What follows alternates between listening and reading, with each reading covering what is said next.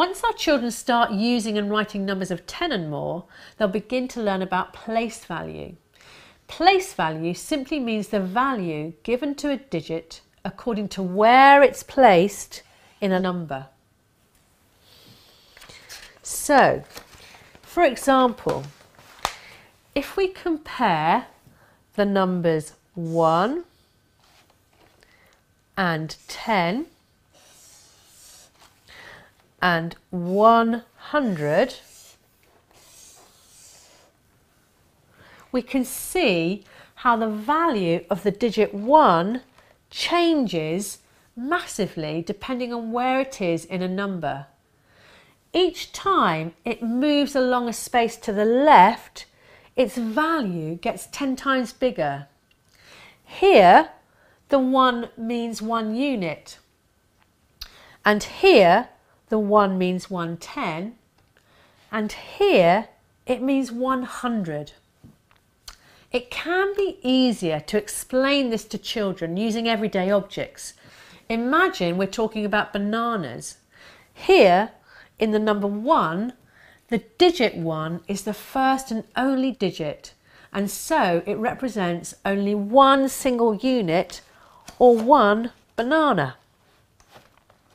There we go. Here, in the number 10, the digit 1 has been shoved along one place to the left, and so its value has changed. Its value has got 10 times bigger. It now represents not one single banana, but one bunch of 10 bananas.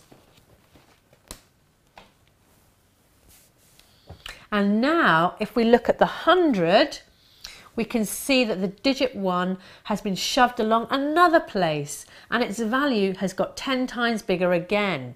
It now represents one box of 100 bananas.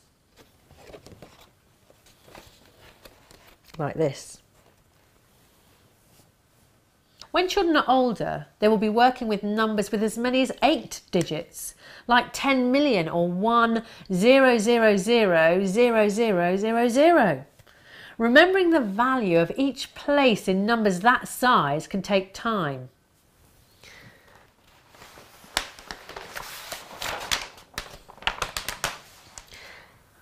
Charts like this that show the value of each place in a number can help.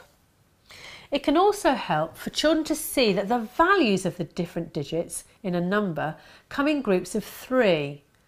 So the three digits at the far right of a number always have a value in the hundreds or less. They're single units, tens or hundreds. The next three digits always have a value in the thousands single thousands, ten thousands, or hundred thousands.